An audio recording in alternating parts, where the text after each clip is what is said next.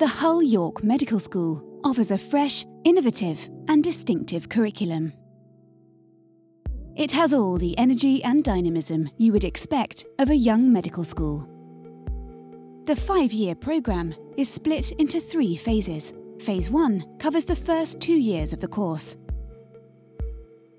In your first two years, you're going to be based either in Hull or York. It sounds a bit bizarre, but you get the benefit from both universities' academic expertise because you're taught exactly in parallel, often by the same tutors, the same teachers, and we're taught exactly the same material at the same time by the same people. The course is meticulously planned, so each week the teaching is integrated and your learning is consolidated as you progress.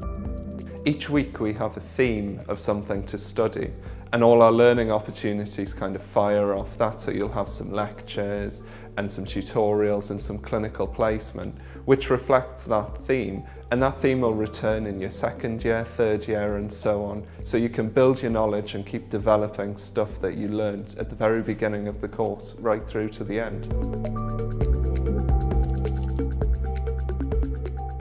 In Phase 1, the academic week begins on a Thursday morning with a lecture.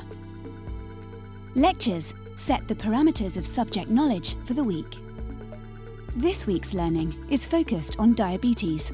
All lectures are delivered by clinical or academic experts who are also highly skilled tutors.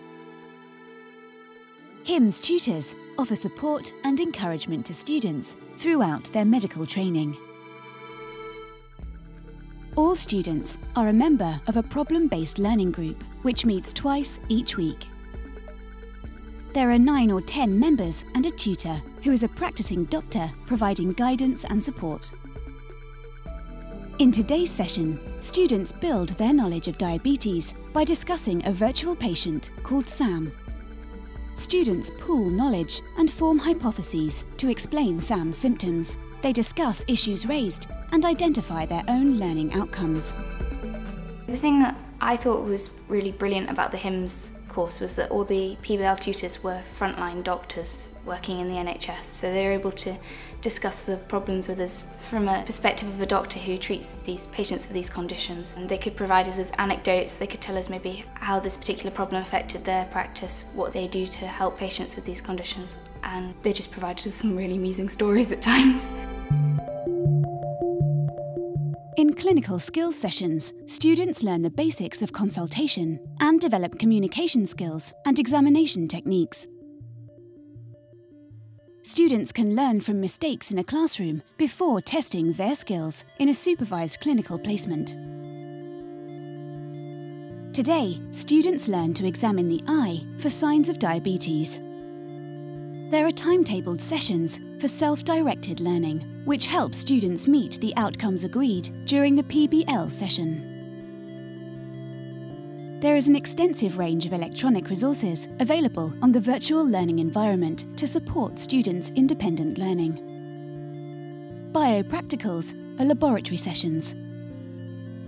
In this week's biopractical, students learn how to undertake a blood glucose test and measure blood glucose over time.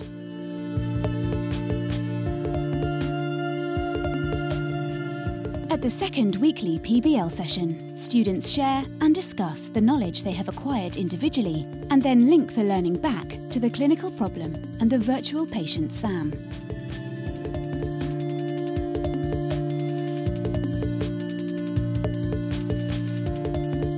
You have the same personal tutors all the way through a year. That's lovely because it gives you some continuity work-wise and also you can talk to them about anything and everything throughout that year and it's not just the personal tutors in your PBL group, it's, it's lecturers and other staff. You know that they're going to be there, so you know that you can send them off an email or talk to them on Blackboard and they'll always reply and they'll always be there. The clinical experience at the end of the week consolidates the knowledge and skills that students have learnt and developed. Here, students work alongside doctors in their clinical setting and meet real patients. This week, students meet a real patient with diabetes. So a lot of medical schools will talk about this idea of early clinical placement and at HYMS it means early. In the third week of study you go into clinical placement for the first time and you go back every week. In first year for half a day, in second year for a whole day a week. And each week you'll either be in secondary care in hospitals or specialist clinics or primary care with a general practitioner in the community and you meet patients who have real problems, whose medical needs reflect what you've studied in that week. And this helps you to kind of grow and develop as a medical student. The Scholarship and Special Interest Programme allows students to choose subjects that particularly interest them.